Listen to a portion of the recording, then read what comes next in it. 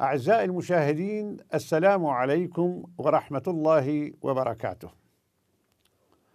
حديثنا في هذه الحلقة عن علم من أعلام العراق تعددت مواهبه وتنوعت اهتماماته وترك آثارا مهمة في مجالات متنوعة من أفانين العلم والمعرفة.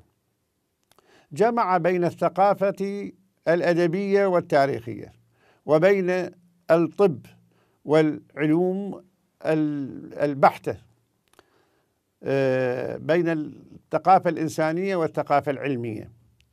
وأصبح عضوا في محافل كثيرة ومجامع علمية مهمة.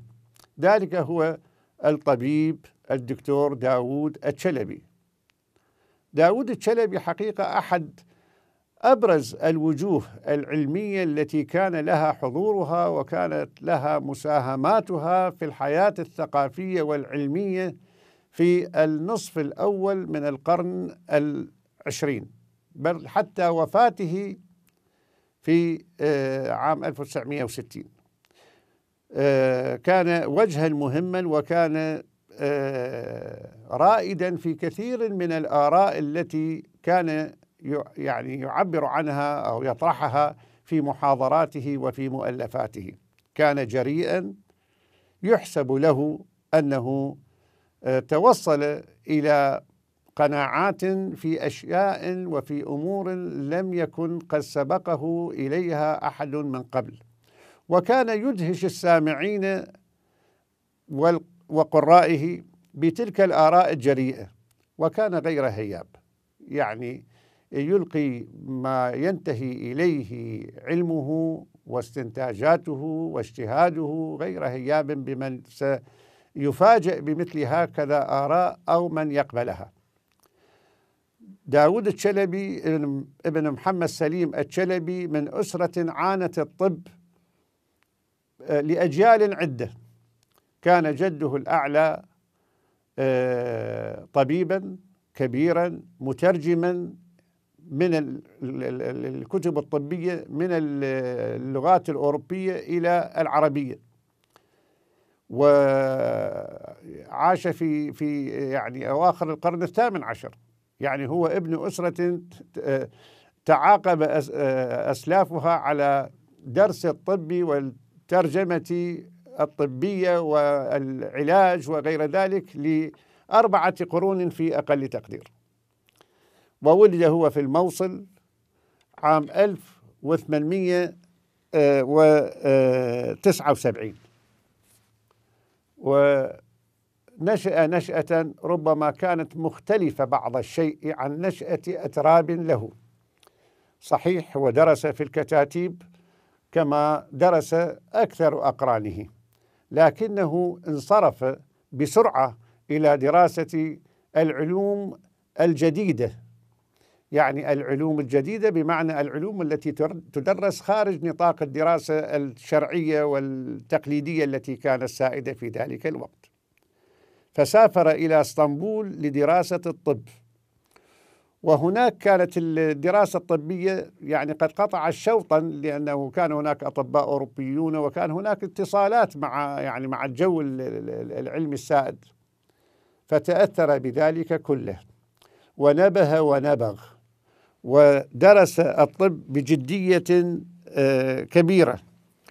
آه، و وتخرج من آه، الدراسة أو من الكلية الطبية اللي كانت جزءا من جامعة ما كانت تسمى دار الفنون يعني الجامعة العثمانية. وقبيل يعني أن تندلع الحرب العالمية الأولى استدعي إلى الخدمة العسكرية. والغريب أنه رفض الالتحاق بهذه الخدمة. ومنطلقا من مبدأ أنه كان يدعو ليس يعني تكاسلا عن أدائها ولكنه كان يدعو إلى استقلال البلاد العربية. يعني كان من المناهضين لفكرة السيادة العثمانية وكان يدعو إلى مع أنه درس في إسطنبول آه، لكن كان يدعو إلى فكرة الاستقلال ولذلك أبى أن يلتحق آه، بهذه الحرب الذي وجدها لا تخدم بلاده وإنما تقع في صالح الدولة التي هو يعمل من أجل الاستقلال عنها. فلم يلتحق وكان يخشى حتى على حياته لأنه ظل بعيدا عن أداء هذه الخدمة في أثناء حرب طاحنة كانت تدور من حوله. آه، و آه، يعني بعد أن انتهت وضعت الحرب أوزارها عين في آه، طبيبا في الجيش العراقي وقبل أن يعمل في الجيش العراقي في مجال اختصاصه. سرعان ما بدت نباهته ظاهرة في وثقافته آه، بدأت ظاهرة وملفتة للأنظار فعين عضوا بالمجلس التأسيسي الذي كانت مهمته هو تأسيس الدولة العراقية وتشريع الدستور وغير ذلك. وفي هذا المجلس طرح أفكارا جريئة ووطنية مهمة. آه، وكان يدعو فيها إلى العمل من أجل تأكيد استقلال العراق ووحدته. وكان أحد الأعضاء الذين انتدبوا للعمل على تدقيق المعاهدة الأولى في تاريخ العراق المعاصر المعاهدة العراقية البريطانية. وابدى آراء مهمة تنم عن حس وطني ونباهة. ثم أنه آه يعني آه، أصبح عضوا في ال ال ال ال في المجالس في في في البرلمان العراقي عند تأسيسه. وكانت مواقفه جميعا في هذه المحافل تنم عن ذكاء وجرأة. ومن يطلع على محاضر المجلس التأسيسي يجد صوته مرتفعا وقويا وواضحا في مختلف القضايا التي تطرح في هذا المجلس. لم يكن عضوا شكليا كما كان بعض الأعضاء. يعني آه، كان آه، يعني آه، لا يبخل على الحياة الوطنية بأن يدلي دلوه في كل تفاصيلها. وأحاديثه كلها مسجلة ويمكن الاطلاع عليها اليوم. عين مديرا للأمور الطبية في الجيش العراقي وهو من أوائل من تولى هذه المهمة هذا هذه ال ال الوظيفة المهمة في أول تأسيس الجيش العراقي آه، مدير الأمور الطبية. ثم أعيرت خدماته آه، من وزارة الدفاع إلى وزارة الداخلية. بقي هناك آه، فترة بعنوان مدير شاغلا وظيفة مدير الصحة العامة. ثم بعد ذلك أعيد مرة أخرى إلى الدفاع مديرا للشؤون الأمور الطبية.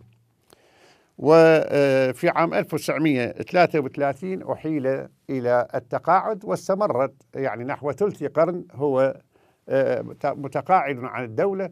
ولكنه كان قد فتح عيادة له آه، في مدينته الموصل وكان يعني يعالج فيها المرضى الذين كانوا يفدون إليه من مدينته أو من المدن الأخرى. طار صيته في أو في أوساط المدن العراقية فصارت عيادته مقصدا لكل من يحتاج إلى علاج يصعب الحصول عليه في مدينته. وصار بالتالي آه، يعني مقصدا للكثيرين ممن كان يسعفهم بعلمه وهو حقيقة لم يكن يعني باحثا عن عن المال يعني وإنما كان يعالج كما أخبرني بعض من عاصره كان كثيرا من المرضى يعني يعالجهم مجانا لوجهه تعالى. سيرته كما تلاحظون يعني فيها مواقف وفيها خدمة عامة وفيها آه، وظائف مهمة ولكن أهميته ليس من هذه. هذا ربما يشاركه فيها أحد غيره. كان عالما مثقفا آه، دقيقا في أبحاثه حتى نال شهرة عالمية.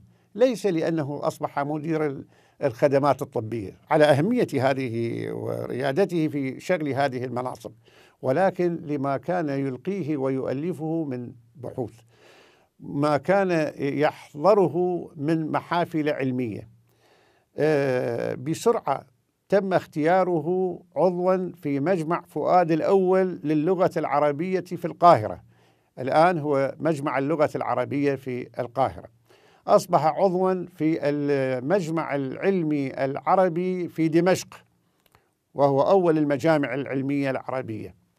وعضوا آه، عضوا مراسلا وعضوا في المجمع العلمي العراقي عند تأسيسه.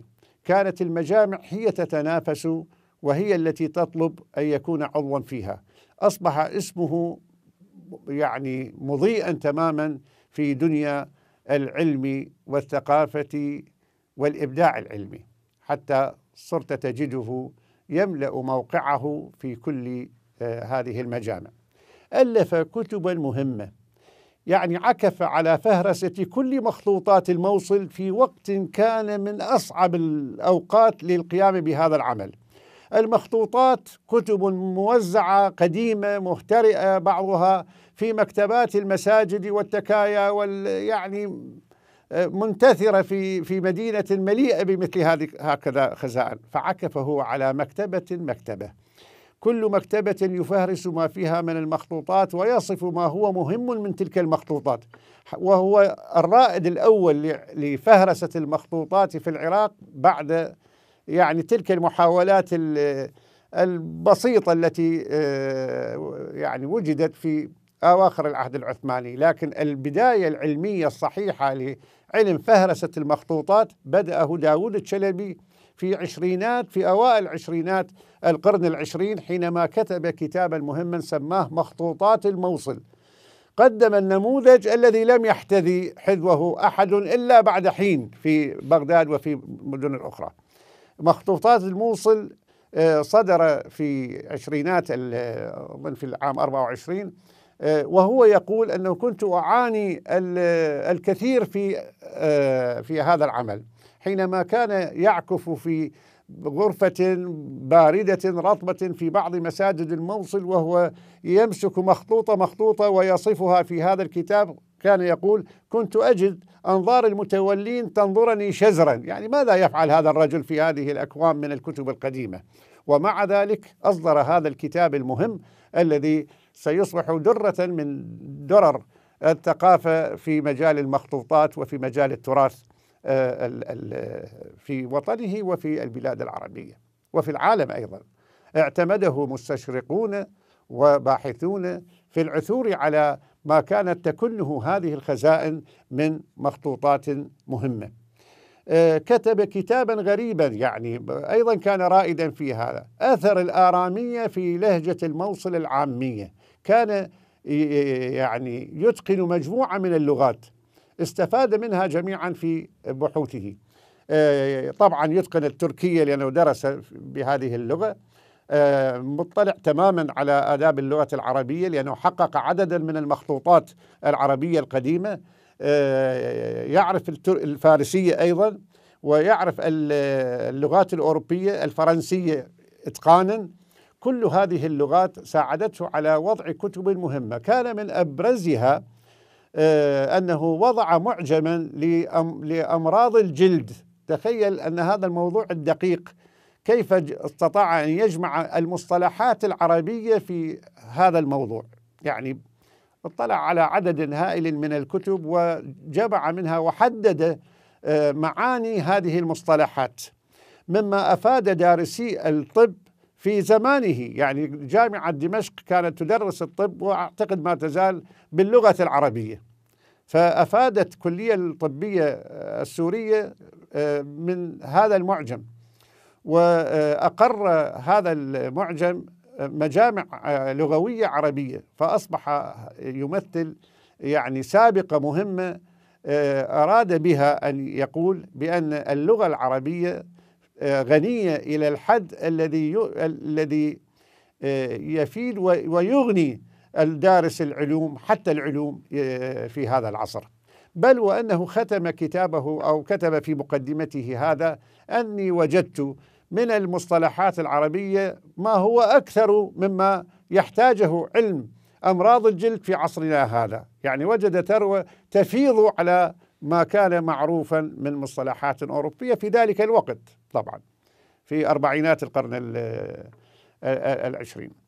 آه، كتب كتابا عن الألفاظ الفارسية والكردية في لهجة الموصل العامية. كتب عن آه، والهندية أيضا مما دل على معرفته أو بإلمامه بلغات مختلفة. آه، كتب أو ترجم عن الفرنسية كتاب الفنديداد وهو أحد الكتب المقدسة عند في الديانة الزرادشتية.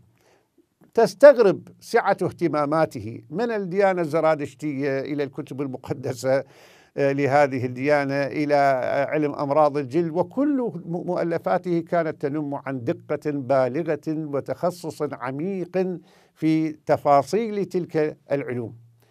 وحقيقة آه، يعني من اهتماماته في التاريخ أنه كتب كتابا سماه زبدة الآثار الجلية في الحوادث الأرضية. وهو كتاب ألفه ياسين العمري الذي سبق أن تحدثنا عنه ربما في حلقة فائتة. لخصه وأبدى تعليقاته على هذا الكتاب. وقد أسعدنا يعني آه، الحظ في أن نقف على هذا الكتاب. ونحققه آه، وننشره في سبعينات القرن الماضي. آه، داود الشلبي كان محبا للمعرفة. ترجم عددا من الرحلات الأوروبية إلى العربية. رحلة أوليفييه وكتاب دومينيكو لانزا ومذكرات آه، بعض الذين وفدوا إلى العراق. ومع الأسف أن هذه الرحلات التي ترجمها لم ينشرها ولم تنشر ولكنها وجدت من يعيد ترجمتها بعد عقود من السنين. ولم يكتفي بهذا كله وإنما أيضا آه، قدم مقترحات في تيسير اللغة العربية في تيسير اللغة العربية وفي تيسير آه، تدريس اللغة العربية.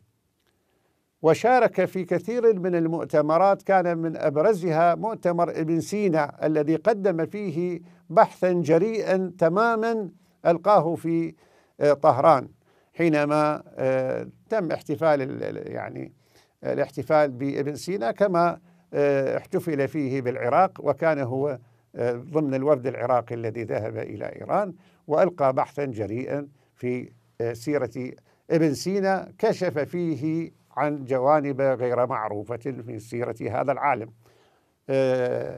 حقق كتابا غريبا في الطبيخ اهتم في الطبيخ. يعني هذا الكتاب كان آه، يتكلم عن الوصفات آه، صنع الأطعمة المختلفة في بغداد في العصر العباسي. آه، اهتم به.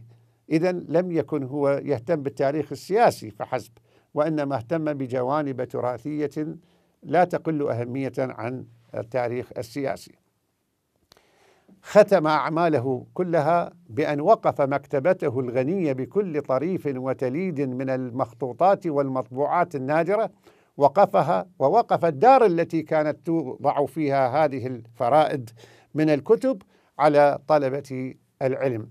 وهذه المكتبة التي كانت في محلة الدواسة في الموصل راجعتها وأفدت منها كما أفاد منها كثيرون ربما وهي وقف على أهل الخير وأعتقد أن يعني لا أدري ما آل إليه حال هذه المكتبة فيما بعد لكنها لكنه تركها صدقه جارية لطلبة العلم.